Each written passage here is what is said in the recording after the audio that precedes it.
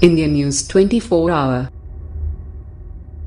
Asha Devi, the December 16th gang rape victim's mother, urges people to let Arvind Kejriwal finish his speech.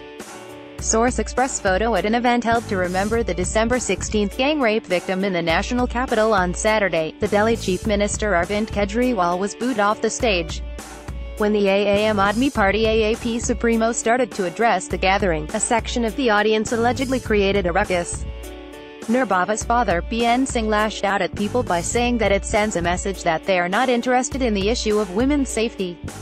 When the CM came on stage, some people from the audience did not let him speak. This is an event which is organized every year.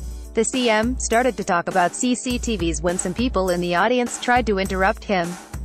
He left after this. It was a Chetna Divas, not a political stage. It sends a message that these people are not interested in the issue of women's security and safety. And here Kailog, Uhale Kopasand Nahi Kartain people who live in the dark do not like the light, he was quoted as saying by Indian Express. After the incident, the AAM Aadmi Party took to social media and alleged that the Delhi Bharatiya Janata Party chief Manoj Tiwari's assistant and another BJP leader were among those who created the ruckus. The CM was not allowed to speak by a section of the crowd. These were BJP members. There are videos online showing their presence, an official at the CM's office said.